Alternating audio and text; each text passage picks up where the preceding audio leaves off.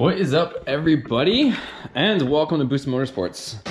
Today's video I'm to be trying to do something I've never done before, not that it's crazy, but I have the remote for the Honda S2000 and it doesn't do anything. The car is right there. I don't know if you guys can see it with that lighting. And you push any of the buttons, nothing happens. So I never got a remote with the car. I only got a single key and I have this remote and I mean the battery, hopefully you guys can see it.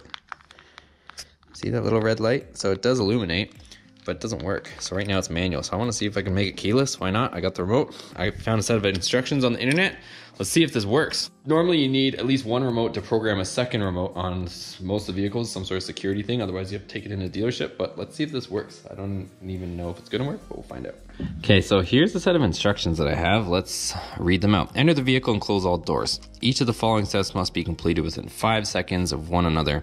If you take longer than five seconds between steps or make a mistake, you must start at the entire procedure over. Insert the key into ignition. Hold one remote in your left hand with additional remotes close by. So it says additional most remotes close by, but I don't know if you necessarily need an additional remote to do this. Perform each of the next three steps in order, then repeat all three steps two more times for a total of three times each. Turn the ignition to the on position.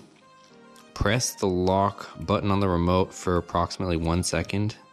Turn the ignition to the off position Repeat steps four to six three times. So on, hold it, off, on, hold it, off. So you do that three times. Then turn ignition switch to the on position and then press the lock on the same remote. The door should lock. Hi, yeah, yeah. Let's go try that. Hopefully it's not sauna in here. Ooh, let's get in here. Oh, it is a sauna. Ay, guys. Ooh, let's put the windows down first. Bacon. Bacon. Bacon. Okay.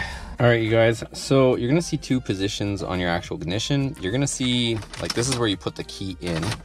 And then you're gonna see position one, which is kind of like accessory. And then the second one, which is actually ignition on. You hear your fuel pump, your dash turns on, all that stuff. So we're gonna be going between the accessory and on. Those are the two ones we're gonna be doing. So starting from the beginning, I actually have two remotes. I have a Honda one as well, and this no-name one doesn't say anything on it, so we'll program both since we're here. So what we're gonna do is to get it into programming mode, you have to do this sequence three times apparently. So you're gonna go to accessory, and then what we're gonna do is we're gonna turn it on. We're gonna hit this one second, turn it off. We're gonna turn it on, hit this one second, turn this off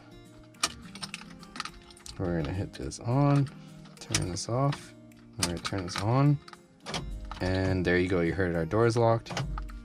Okay, so I didn't manage to get the second remote to program, but our first remote is programmed, so you can see here, and unlock.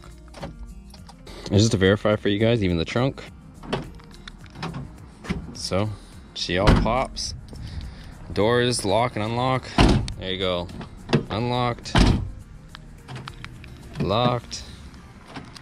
Unlocked. Cool. We're back in business. Okay guys, so like I said, for some reason, whatever year this remote is from, I don't have the history on it. I don't even know where it came from, honestly. It's just been kicking around.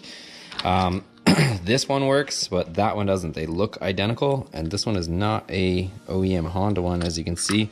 But this one is, and I don't know, it doesn't work. So, I mean, we got this one working. You can hear the remote works and all that stuff. So pretty uh, mission successful as far as that goes. I hope you guys found this helpful. You only need one remote, it looks like, to program a Honda. I'm gonna end up getting that thing wrapped, so if you guys are into Hondas or S2000s and stuff like that, definitely make sure you hit that subscribe button. We're doing a lot more to the car. We've already done quite a bit to the car.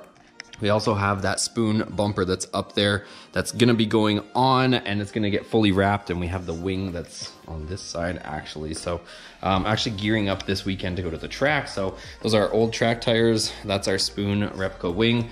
But um, yeah, lots of stuff going on, you guys. I gotta get out of here though, and you guys will probably see this in the next video tomorrow if you guys are following along with my daily vlogs as well. So right now we're taking the Viper. I gotta get some fluids for this so we can hit the track this Sunday. So uh, lots of stuff going on. I'm gonna change to the fluids. Uh, I'm gonna do the differential. We just did the engine oil on that, but gonna do differential and transmission fluid hopefully before Sunday's track day. It's got brand new Nitto NT01s on there. So that thing is gonna stick like glue. I'm excited. Thanks for watching guys. Make sure you give this a thumbs up. Um, also, we're gonna be doing a bunch of detailing videos on this. So now that this is back running, I'm gonna get this cleaned up tomorrow. So should be some content on that. Track content Sundays. See you guys later.